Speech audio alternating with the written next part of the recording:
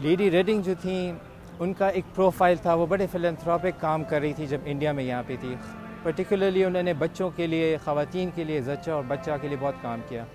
اور پھر جب وہ پشاور ایک دورے پہ آئیں تو ان کو احساس ہوا کہ یہاں پہ جو نیٹیوز ہوتے ہیں، مقامی لوگ ہیں، ان کے لیے کوئی ہاسپٹل نہیں ہے۔ تو ایک ان کی بہت اچھی سوچ تھی کہ انہوں نے ایک یہ آئیڈیا پروپوز کیا کہ یہاں پہ ایک ہاسپٹل ہونا چاہیے۔ اور پھر اس کے لیے انہوں نے فنڈ ریزنگ بھی کی۔ اور ابھی تک اس کا نام لیڈی ریڈنگ ہے۔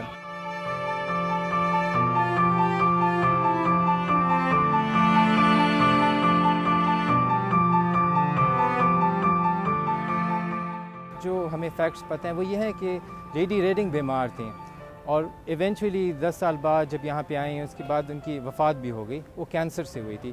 تو اس عمر میں تھوڑی ایڈوانسڈ ایج میں تھی، ان کو میڈیکل ان کی نیڈس تھیں۔ اور ایسی عمر میں ہوتے ہیں یوزلی لوگ تھوڑے سے فلنتھراپک کام کرتے ہیں۔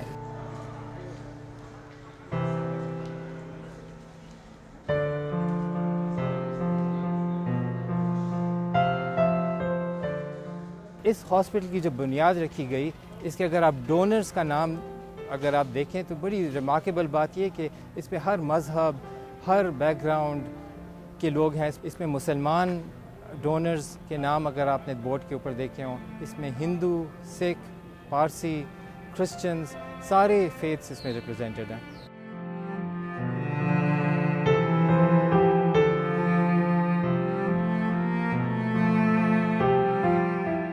یہاں پہ ایلیفنٹ لائنز تھیں، ہاتھی کیملز وغیرہ یہاں پہ پاک ہوتے تھے۔ پورے آپ کے پاس اس کا ریکارڈ ہے اکاؤنٹس میں بھی ہیں، آپ کے ہمارے پاس تصویریں بھی ہیں۔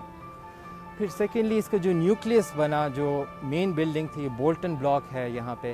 پھر ایک برائرلی وارڈ ہے۔ بولٹن جو تھے، اس زمانے کی چیف کمشنر تھے، ان کے نام کے اوپر رکھا گیا ہے۔ برائرلی جو تھے، ایک ڈاکٹر تھے میڈیکل ڈاکٹر تھے انڈین میڈیکل سروس میں۔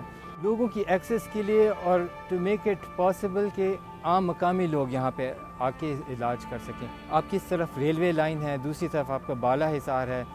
اس طرف آپ کا قصہ خانی ہے اور جو مشرق کی طرف جو ہے یہ پرانا شہر تھا اور اس کی پرانی شہر کی دیوار تھی۔